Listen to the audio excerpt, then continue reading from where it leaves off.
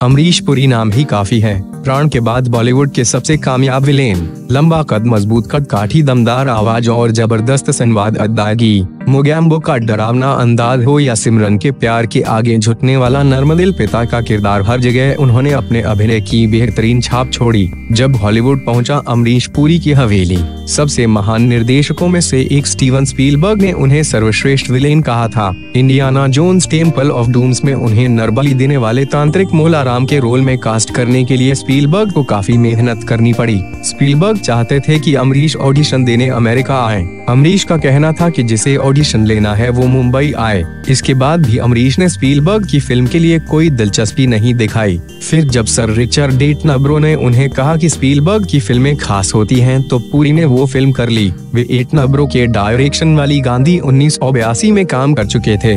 पहले screen test में हुए फेल जीवन बीमा में की नौकरी। बहुत कम लोगों को मालूम है कि अमरीश पुरी को मुंबई आने के बाद संघर्ष के दिनों में एक बीमा कंपनी में नौकरी करनी पड़ी थी। रंगमंच तथा विज्ञापनों के रास्ते अपनी अदाकारी का लोहा मनवाकर हिंदी सिनेमा के सबसे मशहूर खलनायक के रूप में मशहूर होने वाले अमरीश पुरी का जन्म 22 जून 1932 को पंजाब में हुआ।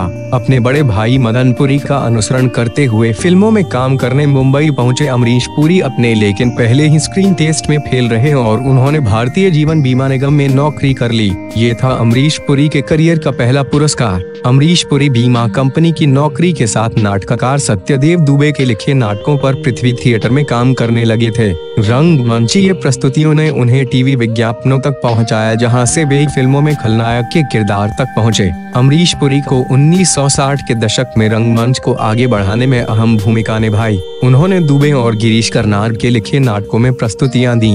रंग मंच पर बेहतर प्रस्तुति के लिए उन्हें उन्नीस सौ उनासी में संगीत नाटक एकेडमी की तरफ़ से पुरस्कार दिया गया, जो उनके अभिनय करियर का पहला बड़ा पुरस्कार था। फ़िल्मों के ये डायलॉग आज भी ज़ुबान पर चढ़े हुए हैं। फ़िल्मों में खलनायक के किरदार में अमरीश पुरी को ऐसा पसंद किया गया कि फ़िल्म मिस्टर इंडिया में उनका किरदार मुंगैबो उनकी पहचान बन गया। इस फ़िल्म में मुंगैबो खुश हुआ के अलावा तहलका में उनके द्वारा बोला गया संवाद डांग कभी रांग नहीं होता भी लोगों की ज़ुबान पर खूब चढ़ा। फ़िल्म दीवाना का संवाद ये दौलत भी क्या चीज़ है जिसके पास जितनी भी आती है कम ही लगती है। परदेश का अमेरिका में प्यार का मतलब है लेन देन लेकिन हिंदुस्तान में प्यार का मतलब है सिर्फ़ देना देना देना। इन संवादों में पूरी हिंदुस्तानी संस्कृति निहित है। कई फ़िल्मों के लिए अमरीश पुरी को मिला सर्वश्रेष्ठ सह अभिनेता का खिताब। प्रेम पुजारी से फ़िल्मों की दुनिया में प्रवेश करने वाले अमरीश पुरी के अभिनय से सजी कुछ मशहूर फ़िल्मों में निशांत मंथन, गांधी मंडी, हीरो कुली, मेरी जंग, नगीना लोहा, गंगा, जमुना, सरस्वती, राम लखन, दाता त्रिदेव, जादूगर। घायल फूल और कांटे विश्वात्मा दामिनी करण अर्जुन को यह आदि हैं।